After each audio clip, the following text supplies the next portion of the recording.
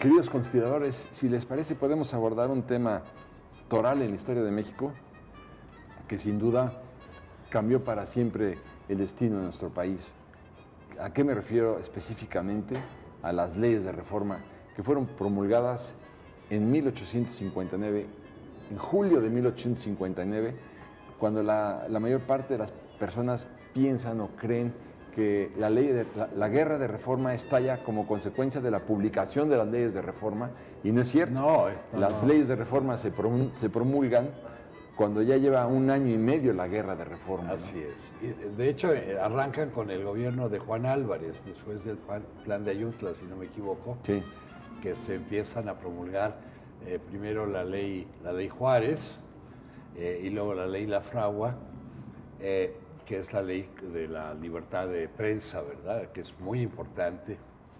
Y, y luego se, también durante el gobierno de Juárez se promulgan otras leyes y durante el gobierno de Comonfort otras. Pero yo creo que, como dices, lo importante de las leyes de reforma es que hay un antes y un después para la Sí, sociedad, para la vida cotidiana. O sea, realmente sí, es un parteaguas en la historia de México, que luego con el tiempo se derogaron por distintas circunstancias hasta 1992 con Salinas, incluso. Sí.